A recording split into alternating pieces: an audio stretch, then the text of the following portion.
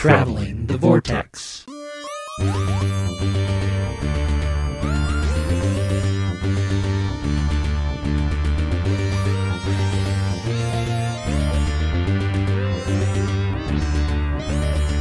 We've joined the Doctor as he travels the vortex and arrive at episode 431, which also is part of Harry's imagination. I'm Keith. I'm Sean. I'm Glenn. How are you guys? Harry, you've got a pretty dull imagination this time. Well, pinball, us, you know. oh, the pinball was cool. How What'd you- you- What'd you guys do this week? Not a whole lot. Cleaned up my gutters. Last two weeks, because we're uh, actually a, a week off now, because we Yeah, that's we, true. we couldn't couldn't collaborate again last week because we all were so busy, chaotic. So Chaotic's a good word. Did you guys do anything fun in these two weeks? I saw uh, Mason and I last weekend went saw Detective Pikachu. What'd you think? It was cute. We enjoyed it. Um, he got a lot more out of it than I did because he knew, he knew a lot more of the references, but I knew a good number of them playing the Pokemon Go game for so many years. It's kind of where we came down on it. It was cute, but not uh, I, it, not anything else. I mean, it borrows heavily from Batman, Batman '89 and Zootopia, but I mean, big heavily borrows from Batman '89 and Zootopia, but Huh. um, I could see the just from the trailers. I could see Zootopia. I'm kind of surprised by Batman '89. you, you'll know what I mean when you see it. if I see it, You'll know what I mean. uh, it, it's worth seeing. I think it's they they did it the right way. They did it so that more of a mainstream audience could go and enjoy it. They could still chock it full of Pokemon references, but j- the average moviegoer could go and still com- Mm. completely enjoy the stories. I might pick it up at the library. Mason totally called the ending though. So, Hmm. did you guys see anything? um, I saw Pokemon and John Wick 3. I don't think we talked about that. Mm-mm. How was John Wick Three?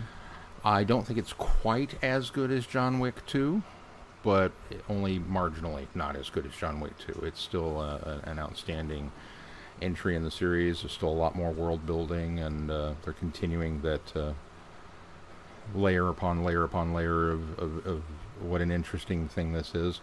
I I could say I think honestly the, the, the shoot 'em up element to it is maybe getting slightly dull and repetitive just because John Wick is so efficient at it that you know the body count I, I read somewhere that he has now killed more people than Freddy Krueger and uh, Jason put together when it's kind of like well duh uh, Those were always one by one victims. I mean, it's not Yeah. like it was a shooting spree. but um, you know if if the title of the movie was John Wick kills everybody I'd still have pony up my cash to go see it because I enjoyed the other two so All right. but no it's it's good Keith, did you see anything? Didn't watch anything. All right. Well, shall we move on to news? News. We start with some sad news tonight. Uh, Stephen Thorne has passed away at the age of 84. So those who may not recognize the name, uh, he had three large roles as villains, It's three large villains. three very large villains uh, in classic Doctor Who: Azal, Omega, and Eldrad. Right? Yep. He, that was the third one. male Eldrad anyway Male Eld. Yes. Yeah. Sean and I got to um, sit down and talk with him. Oh gosh, it's been about eight years ago now, but uh, when we went to Gallifrey together one year, so he I- will be missed. and you know it's uh, maybe it's because of that but but seeing that news this feels like just the biggest gut punch um he was the sweetest man he was uh, a larger than life personality um and yet he, he was just very easy to talk to. I mean, he was friendly, he was warm, he was inviting. He genuinely loved Doctor Who and Doctor Who fandom. And I'm sure we asked probably some of the same questions that he had been asked a zillion times, and it didn't phase him at all. No, I mean, just answered all of them with a smile. very gracious man. and um, I, I, I- I hope that he's uh, he's with uh, Nicholas Courtney at the big pub up in the sky because man, he could drink anybody under the table at Galley. So He I- will be greatly missed. I hope they're having a laugh. Let's move on to something happier. possibly, depending on how you feel about this next adversary. Uh, the Oh, you're looking at me, aren't you? Yep. The BBC has announced that the Judoon will return to face off against the 13th Doctor. I like the mohawk on the Judoon. It's a good look. Doesn't make it any more It's, it's a familiar look. anthropomorphized. Sounds like Bebop, Yep. Oh, no, Mm, Rocksteady. There you go. Rocksteady. Although I think Bebop was the one that had the mohawk. Bebop, yeah, Bebop did have the. It's a it's a meld it's a of meld of the Bebop two of them. Rocksteady. but, you know, I'm, I'm just not going to say anything. You know, uh, I I actually have less issue with it than I, than I think people expect. Uh, it's an established Doctor Who species now, so you know I've kind of made my peace with the fact that it's a rhino. But um, I'll be interested to see where they go. Uh, it's just it seems to me the only thing that is a little disheartening of it is that they BBC first of all felt it necessary to show us, hey, look, classic monster coming back after beating the drum all year last year of no returning monsters. Yeah. You know, it it's almost feel like the BBC felt like, oh, that was a misstep, so Let's we're gonna somebody we'll, back. We'll we'll shove this out. Well, even if it, do we know that this is the first episode of the series? no, And we don't know anything about and it. that's the thing is this this will probably be like four, eight in, and maybe by that time we will be ready for the return. But it's almost like they're like, oh, uh, guess what? We're we're bringing familiarity back to the show. Uh, it's, so- it's almost like they announced, uh, you know, Mondazzi and Cybermen uh, for the before the series even began. well, stuff. no, it's a little different, but Well, and furthermore, and now I'm going to talk about it. I would just uh, rather been more surprised by it. The, the, there's no surprises anymore. I would just get past that. the, the, there, But it's not like this is like in public. The picture. There are Depends on how multiple issues here. One, the Judoon, at least from a plot standpoint, have never really been adversaries. Mm-mm. They've been obstacles, right, but they're they're not necessarily bad. I mean, they're, they're, be- they're the police force, and they may not be in this one either. and so you know they show up and they kind of do their jobs, and they're very rigid and strict about their jobs, but they're not bad guys. Um, so I would hesitate to even call them adversaries That's unless true. you come up with a very interesting way to make them the adversary. Secondly, of all of the returning Who's calling them adversaries? I didn't read the. Oh, caption I don't know. article. I might have they- missed. they- just fandom in general. Oh, are they? Yeah. Okay. I was This, this say- article says most I fearsome think adversaries. I, I called them monsters, but I wouldn't call them villains or adversaries. Um, of all of the possible returning monsters that they could go back to the well and grab, the Judoon. I mean, I, you know, and I, it's not like the Slitheen. It's not like you know they they were going back and grabbing the Scribble monster and going, "Look what's making a return." but the Judoon do not necessarily inspire a level of ooh. It for me, they're just kind of a ah, all right. It's not even really a newsworthy a newsworthy event. It's just kind of if they showed up in the episode and they hadn't said anything, it would be oh cool, the Judoon are back, because that's the level of excitement I have for the Judoon. so the fact that they made an event out of it is almost okay. That's what you've got in store for next season, huh? It it, I, it it's not It- It, confidence makes me boosting hope for me. that he's doing some sort of misdirect. That he's doing that if he's bringing something else back or doing something bigger, that he's trying to distract everyone by, hey, look, Judoon. Well, I'm off over here doing this. I thing." suspect that he's not has anything to do with the marketing of it. I just Well, have, no. I have a feeling that somebody had a Judoon story, and the BBC said, "Ooh, let's dangle that out in front of fans." we haven't had much news about the new series in a while, so let's put something out there that we can do. And you know, I, I get from the BBC's perspective, they they've got a they've got a product to promote. and They need to advertise it, and hey, the Judoon, that's something we can license and Right. slap on a plastic lunchbox and Well, sell. And So, it's something that we can have a news article about without getting into details of what's happening in the season. yeah, I mean, it's not like you can do an announcement about, hey, look, there's this new monster we're going to have, because then you're going to have to give the entire story of what's going on with the monster or some sort of tidbit, which Chib- Chibnall's not going to want to do. It's, you know, it's or harder even to- worse, you build the monster up. Can you imagine a? Oh my God! Wait until you guys meet Tim Shaw. He Right. is going to be the scariest thing you have ever seen on Doctor Who, and we all would have went, "Ooh."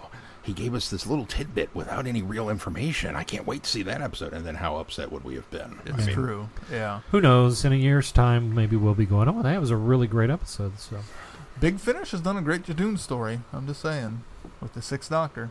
I Maybe hope. anything I, can I happen. don't- I'm the eternal optimist. I hope that I am wrong. I want. I want to be knocked out of my chair, going, "Wow, that was fantastic!" Every week. That's right. All right, what else is on the list?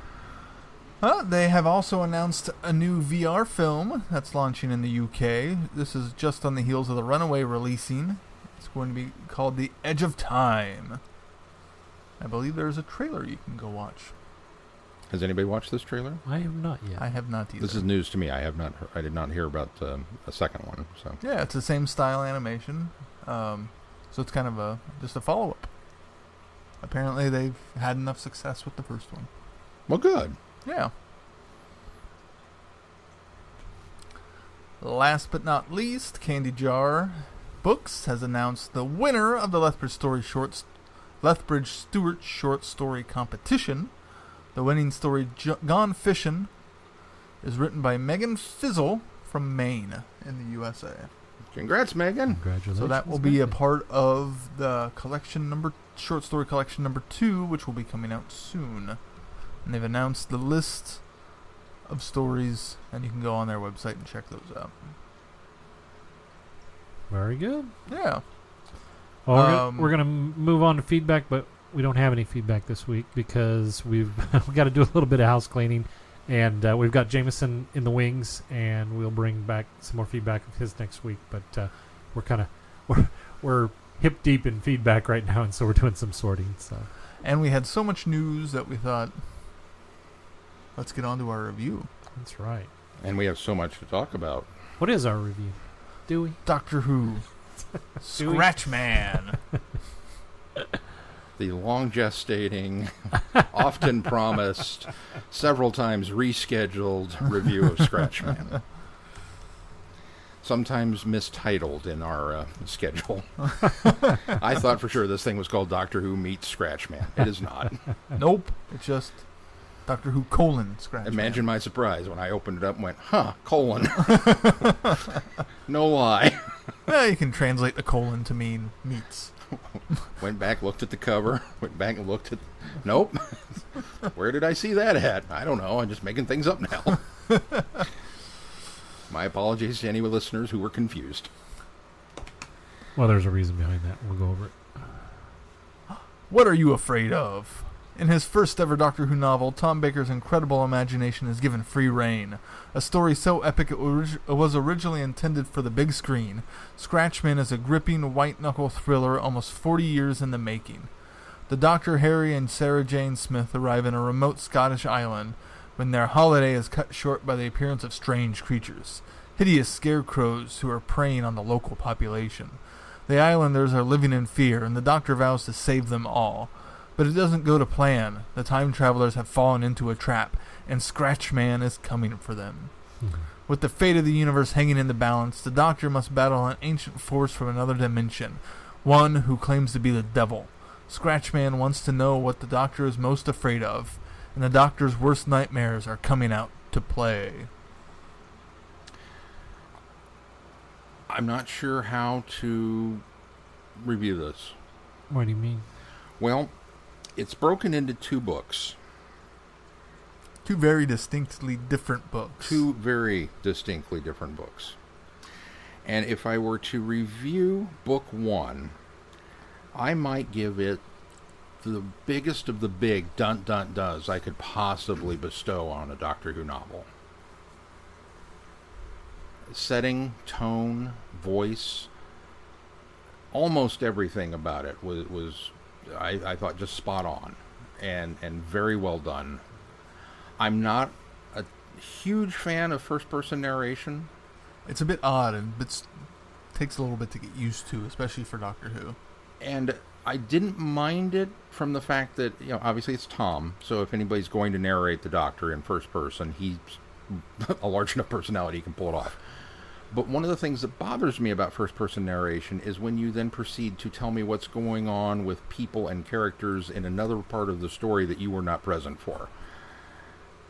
Uh, Yeah, but the- The nice thing is they The- framed this in addresses a it, reason why Yeah. it's in first person, They- and then they also yeah address he addresses uh, what's it. happening. They Because even elsewhere. even they the. Time Lords kind of get after him for well, wait a minute, how are how are you presuming or telling us what other people were thinking? And They do, and the the framing device with him being uh, interrogated by the Time Lords was was relatively clever, and the excuse that was offered up for why he's able to know what's going on it worked but it, it still it rankled me every time we would cut away to something else. And it's still in first person that it's like this shouldn't work this shouldn't work this shouldn't work. And yet here we are so i kind of really had a, an issue with that. Other than that i thought everything in the first half of the book just clicked for me. It really moved at a good pace. I thought it i thought it was genuinely scary. The scarecrows were frightening. The devices behind the scarecrows were frightening. Everything was it was just it was just going. And then the cybermen showed up. And suddenly it went ooh. And then it went ah.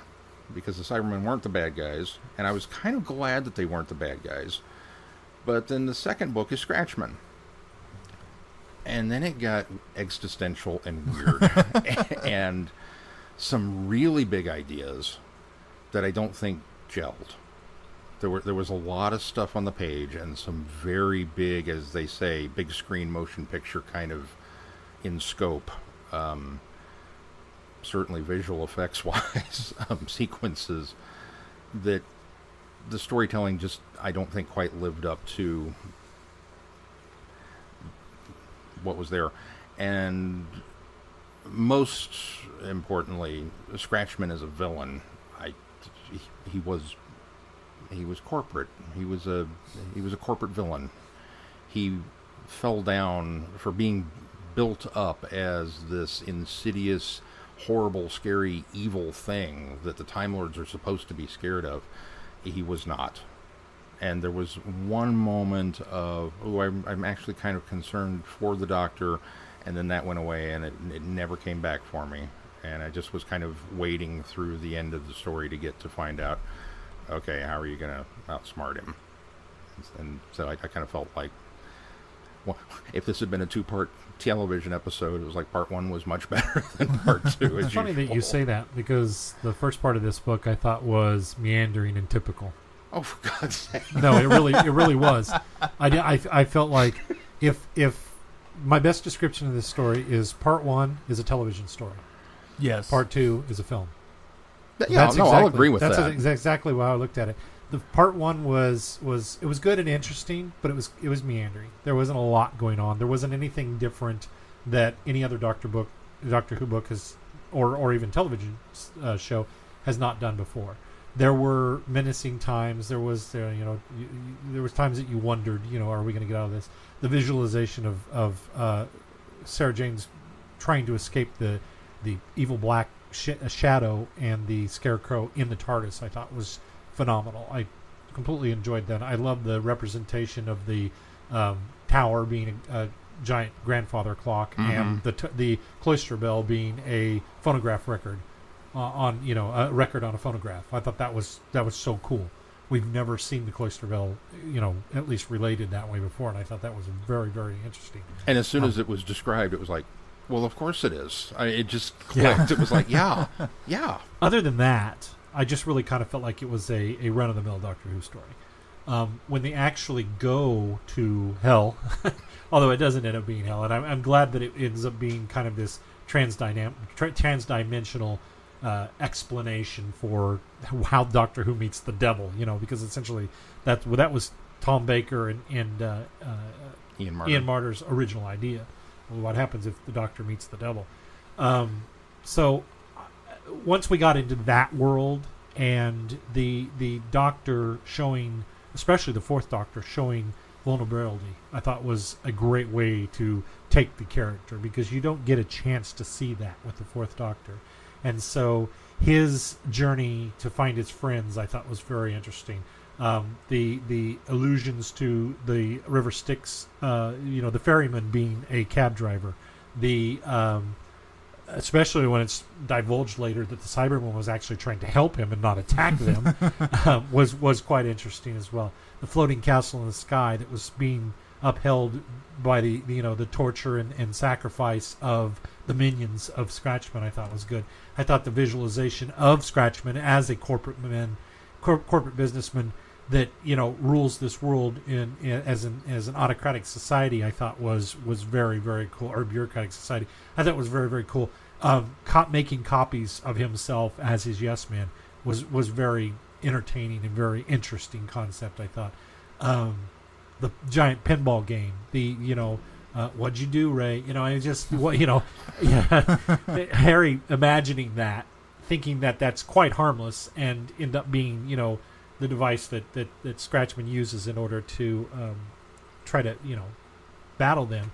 I, I thought that was really good. I just I, I and the the whole time that I'm reading this second part, I could see it as a movie. I couldn't see it as a major motion picture now, but I could completely visualize it as a 1970s science fiction film. And I thought that's what I I think that that kind of captured me as well is that it really felt like I could have seen this have been made in the 70s. The the special effects wouldn't have been great. The film would have been dated by this point, but I could totally see what they saw from what they experienced with film back in the 1970s and, and why it was sort of gone this way. Um, so much I was so interested that they I went back and read the synopsis because there never ever was a actual script for Doctor Who and the Scratchman, no matter what it meets the Scratchman, no matter what what they say. Um, but he and Ian Marter had discussed this in great detail. Um, Tom Baker kept this idea close to him for years, and interestingly enough, the book stays relatively faithful to the concepts and ideas that were put forth in the original story that they would have ended up coming over here and selling it. Was it Universal that they were trying to they were courting I think that's what I had heard. Yeah. Uh, the Cybermen obviously were not Cybermen, but they were a cyborg race or a cybernetic race. Um, the Daleks would have made an appearance in it, um, and the pinball table, I believe, was the big finale for the the, the film. But uh, other than that, I think there was a lot of things that still translated over. I think the things that I found very interesting about it was the heavy-handed, and not necessarily badly heavy-handed, but the heavy-handed references to the mythos, which I completely expected Tom Baker to step away from, and I suspect that a lot of that is the influence of uh, James Goss, who basically ghost wrote this for him. Um, I think Tom had a lot of hand in writing it. Don't get me wrong. This is Tom's work. This is Tom's story. But I, I think James Goss put a lot of the touches on it. I think uh, anything that had to do with um, the his previous Doctor's uh, uh, previous incarnations, I think was probably an influence from Goss. Obviously, changing the Cybermen or the cyborgs to Cybermen uh, was probably Goss's idea. I think there was a lot of, uh, especially meeting with the mysterious time lady on the shore at the end was Uh, probably was James Goss influence. nice but it was nice for Tom. It it was uh, to me, Tom allowing that in this book, or or if or if he and I can't say that it was all Goss, but I'm just speculating.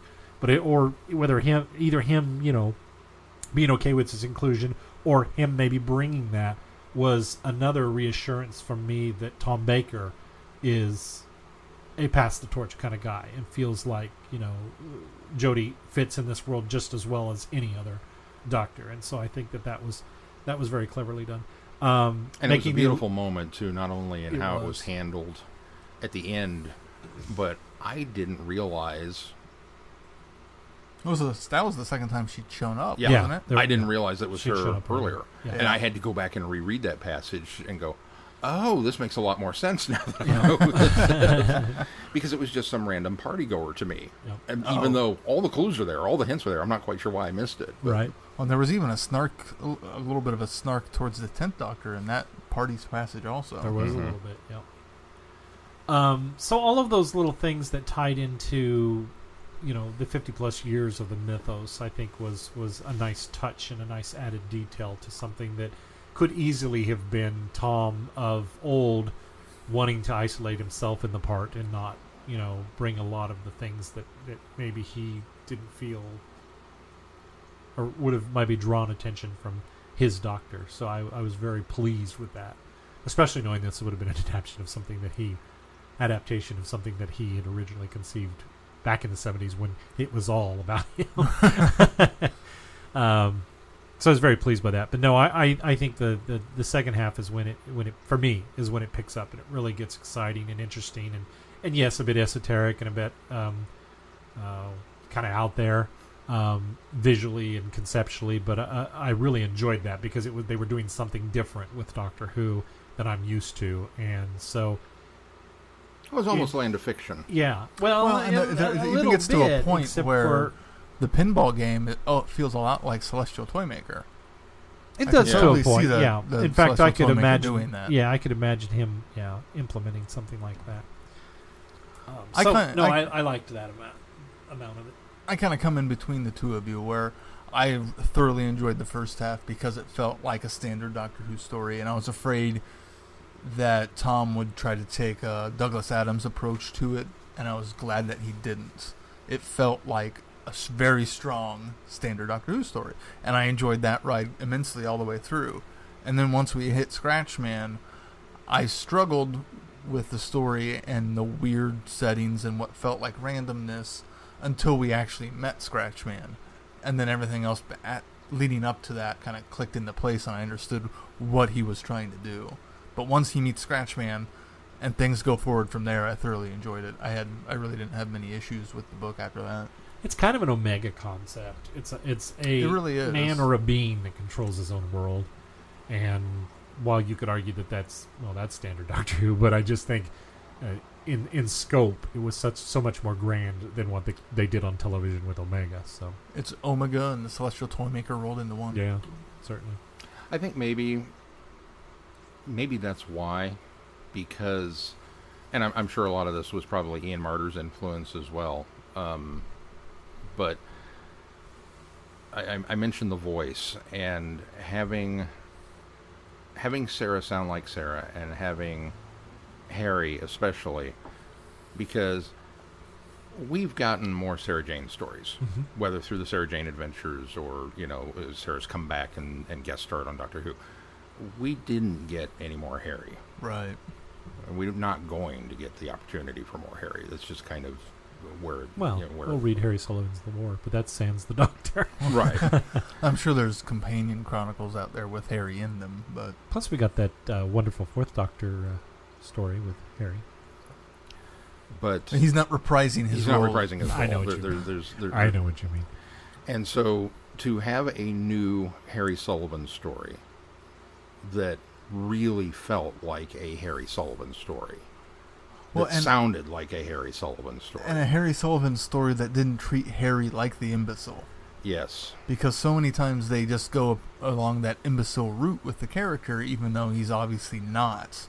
And Tom doesn't take that approach at all. He makes him, he plays to Tom, uh, Harry's strengths. In fact, they, they, they poke fun at it Well, in a he- way. Oh, yeah. Because he, he totally calls him out on it, but yet he's not. Yeah, as I Right. say, it, it, they they strike a nice balance with not diverging from the character of Harry Sullivan, but also giving him some credit for um, who he is and the- his nobility and his you know um, steadfastness and his loyalty. I think is it all comes across. And, Oh, and yeah. th- n- nothing was more evident than the line, Harry missed his coat. because Sarah Jane was wearing it. Right. right. you know and it's just because that's who he was you know and, and that to me was wonderful and so that's why the, the first half of that it very much feels like this easily could have slipped in at any point in time in that first season or before uh, Terror of the Zygons. Well, it did.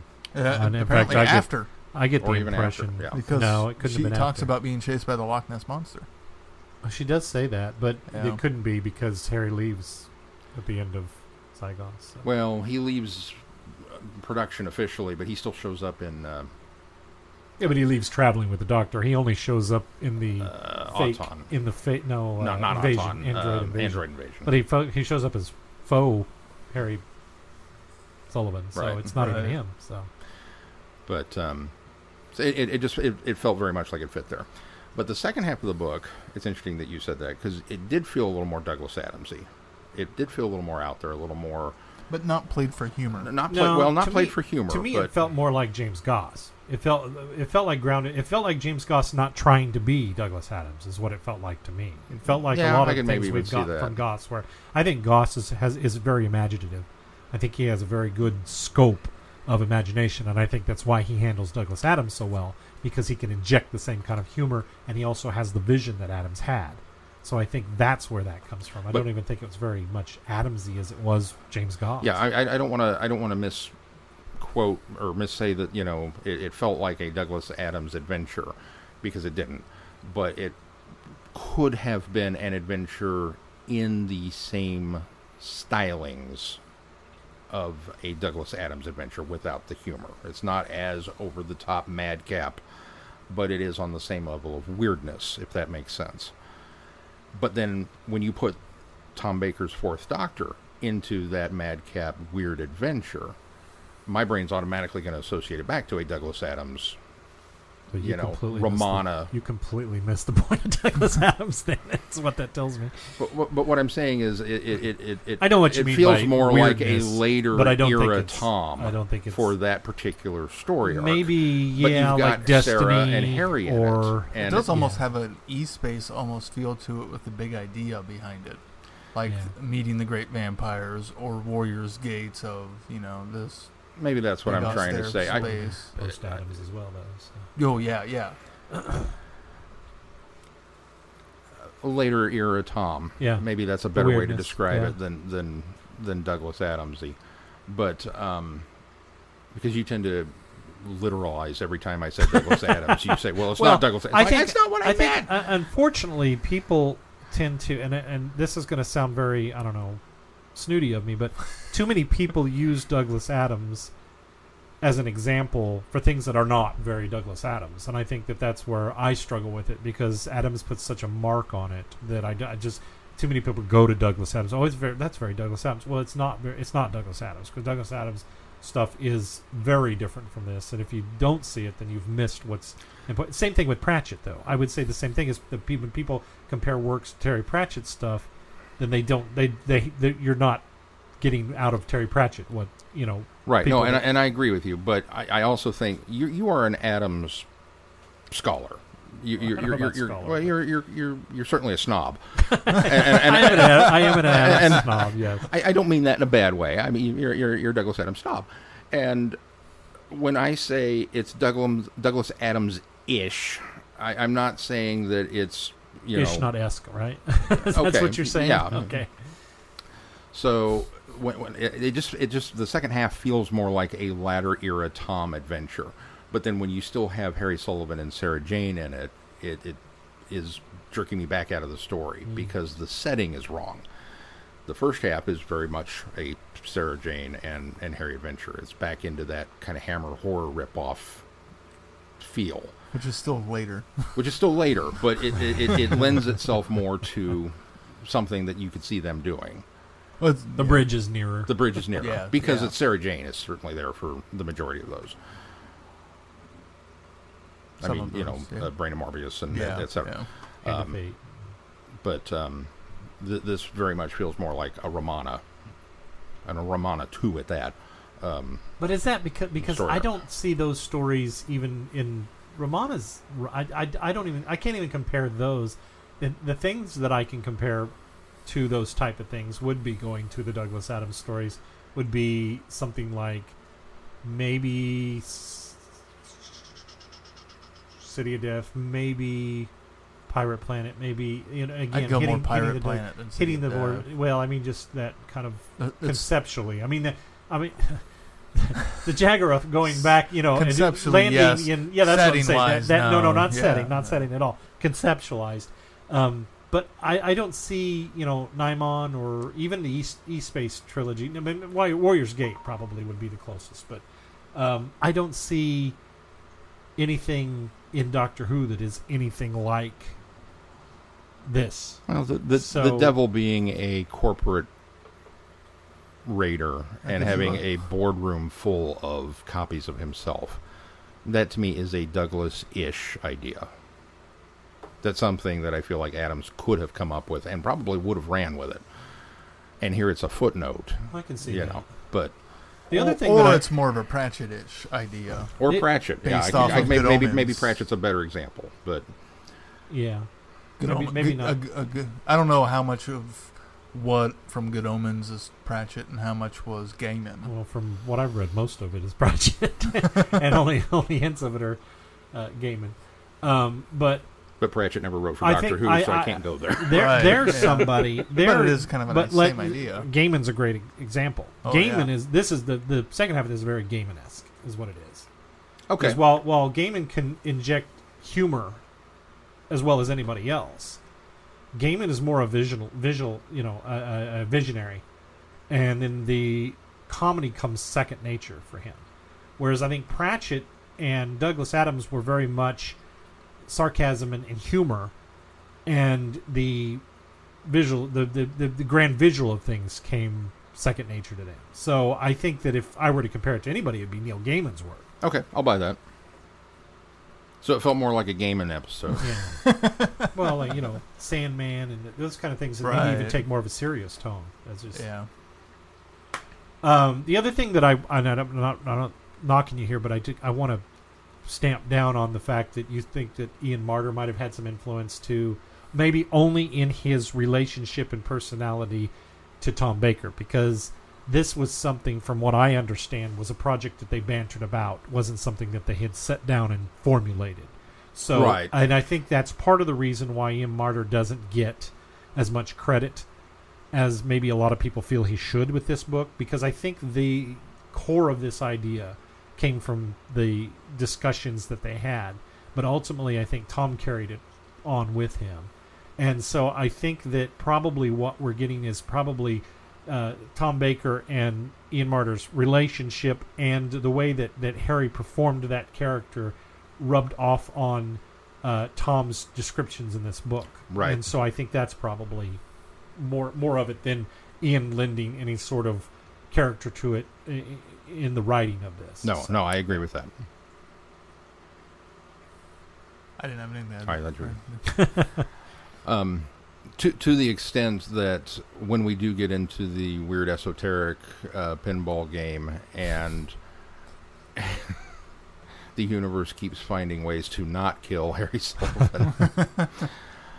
and that's how the doctor knows he's still alive even after he's fallen through a, a, a drainage hole into a presumed lake of fire uh, below the floating castle. But the fact that it's you know, there are neon signs over the devil's head saying, terribly sorry about this. That's just such a, yeah, it, it, it was a, a perfect moments. Mhm. It's, it's kind of just Yeah. the, the, the best way, I think, to describe some of this. I think the climax of the of Scratchman wanting to know what the doctor's fear is, and they they really kind of kept this very. The doctor keeps it very close to his chest throughout the entire story of what his true fear is, and then in order to finally give it to him, and that be the demise of Scratchman at the same time, I thought was a nice touch knowing that that the doctor's fear was enough to topple Scratchman's world, I thought was was was very clever, um, and so I really liked that about it. And I think that's what that second part of the story really kind of drives home is the fact that you know while the doctor doesn't seem to be afraid of anything, and he goes he rushes full heartedly into his fear is ultimately, and I, I can't even really describe it, but his fear is what will happen ultimately to the world. and uh, so that's what ends up dragging Scratchman's world down is the fact Mhm. that uh, he transfers that fear to Scratchman. And Scratchman never had fear either. So and it treat, it treats them as equals while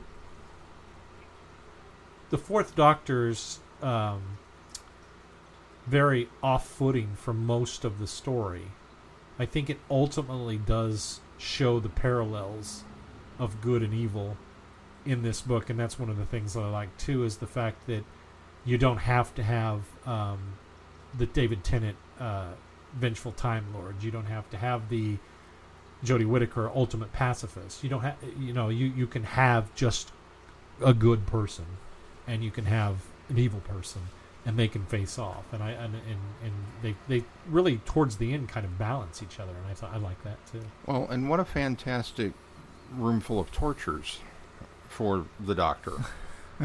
we've got a party that everyone's going to ignore you. Yeah. we've Yeah. got uh, we've got a High Inquisitor torture room that's going to you know Make you Especially wanna the fourth there. Doctor.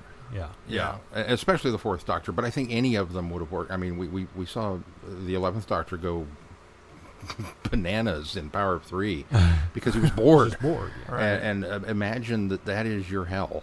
That that's what awaits you is being bored. I, I cannot think of it. And it wasn't until they kind of spelled it out for him that I went, "Oh, that's what's going on." oh, oh, that's just mean. I mean, it, because it is that kind of terrible. Um, but especially for the Fourth Doctor, because the ego just doesn't allow for it. Right. Especially the party where no one's paying attention to it. Yeah. Right. Yeah. Uh, the Seventh Doctor, I don't think would have fared well, um, you know, either. Not having a, a plot to. No I don't chess think I don't think any of the Oh, doctors would I have been. think the seventh Doctor, TV Doctor, seventh TV Doctor. I've been reading a lot of Virgin New Adventures, which really kind of explore the character differently. But um, I think the seventh TV Doctor would have loved this. This would have been. This is really his element. I mean, it's it's the manipulation and the scheming that's coming f- against him, but he could turn turn the tables on. turn the him tables and, on, yeah. and I, I think he would have. He'd have been enjoying himself. He'd have really been enjoying himself. Yeah, I think this would have been a actually fairly good seventh and eighth sto- story. But it's not. It's a really it's good not. fourth. And Sarah, Sarah Jane. It's just a really good Harry. story. Really. I quite enjoyed it. Um, and the, the, the, the sum of its parts ends up becoming a whole for me, and I, I like it. But I just it, it, it took me a while, and I struggled with the first story, really getting into it because while the scarecrows were scary, they weren't scary enough, and it just really felt like oh another Doctor Who story. And I thought I, th- the I was nice- hoping Tom would have done better than this, and then he did. One of the nice things I liked about the first story is we didn't travel away from our core three very often, and that helped me carry through it too. Well, they each got something to do. Mhm. Um, Harry going to the um, shop to get the sugar, although, again, very, you know, Accidentally yeah, living well, the entire exactly. time. Fate, fate, fate dealing Harry his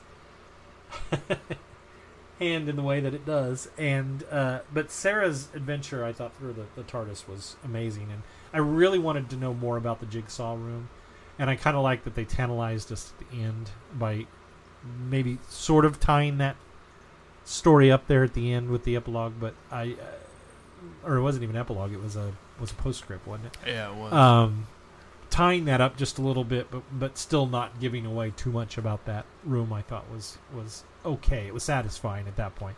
But when we got away from the jigsaw room and then didn't do anything about it uh, with it, the rest of the I would have been upset if they hadn't given us that right, if I we hadn't got the, Yeah. the the postscript, I think I would have been a lot more upset. The other thing that I thought uh, was was was uh, telling was the fact that um, she sees herself in the future with a, a young boy, and so they're even you know acknowledge, acknowledging that was another Sarah nice Jane continuity. adventures, and so that was really cool. I was a little worried when the first advanced scarecrow showed up. Um, and it's described as being kind of a, a, cross between, you know, polished wood and, and, and, and metal.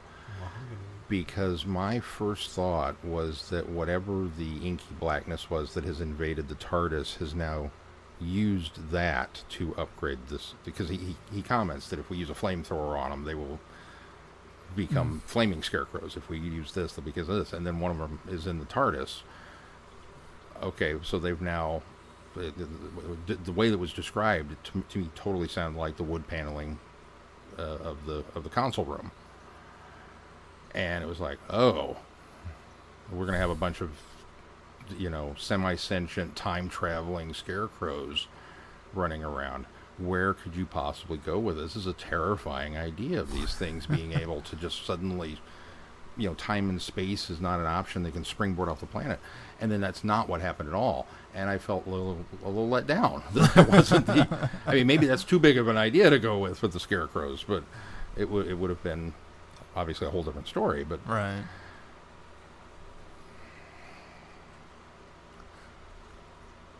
I was also very pleased we talked about Harry's voice, but I think he had Sarah's voice down really well also. Yes. And and so grateful that for all the peril Sarah Jane was in, there was only I think one scream that she let loose in the in the whole thing. And it, I mean, it was a worthy place to put it too. But uh, you know, she held her own through all of it, and I was I was so proud of of of of, of Sarah and Tom and and whoever else for yeah no we're not going there. That's not her character, so It was just it was just a rousing adventure. I liked it. probably one of the best Fourth Doctor stories I've read. Not that I've read that many. I enjoyed it. All right. Well, Anything else? what do we got coming up on the schedule, Sean? Well, coming up on the schedule next week. We have to adjust all our dates now. Unfortunately, they're not too different. Um, Everything's just delayed a week. just just just delayed a week. Uh, next week we've got a um, back to Big Finish, and we are doing uh, the return of the Eighth Doctor with uh, the beginning of season four with the Eighth Doctor Adventures, Death in Blackpool, and then a uh, special that uh, Big Finish put out called An Earthly Child. Although I'm convinced it fits very snugly right here in the middle of season four, so that's where I'm putting it, which is why we're reviewing it now, it works. and it worked. Oh, have you? I've listened to both already. Ah. It works. And then uh, uh, the following week is the tenth Doctor, if I remember correctly. It's the following to uh, of the first season of the tenth Doctor audio adventures. I don't remember the titles of them off the top of my head, but it's uh, episodes two and three of uh, tenth Doctor season one. More information is available on our website. All right. Very good. Anything we should add to uh, this show before we close it out? I don't think so. Uh, if you did read this, uh, go in and weigh in on the Goodreads book club because this was the book of the month for. May wasn't it, or was it? April? I think it was April. Okay. Yeah. So go weigh in on your thoughts and give your review there. Speaking of reviews, I still forgot to do the my mini review of uh, Secret of Vault 13. So I'll I'm put, gonna put that on the schedule next week. I'm going to text you right now. And You um, text me now, I won't see to- I'll see it now and then forget next week. Speaking of forgetting, um, we had augmented the schedule so that we would be reviewing the free comic book day, 13th Doctor, and uh, we have forgotten. So I think we can bump that to next week and cover it then. Sounds good. All Sounds right. good. We'll, uh, we'll make a mental note. We'll cover it then. we'll see if it goes any better than Glenn's book review. right. Maybe we'll do those together. All right. Uh, if that's going to do it for this week, until next week, I'm Glenn. I'm Sean. I'm Keith. Cheers. Good night, everybody. Be seeing you. Thanks for listening. You have been listening to Traveling the Vortex. Doctor Who and all of its associated programs are owned and trademarked by the BBC. No infringement is intended or implied.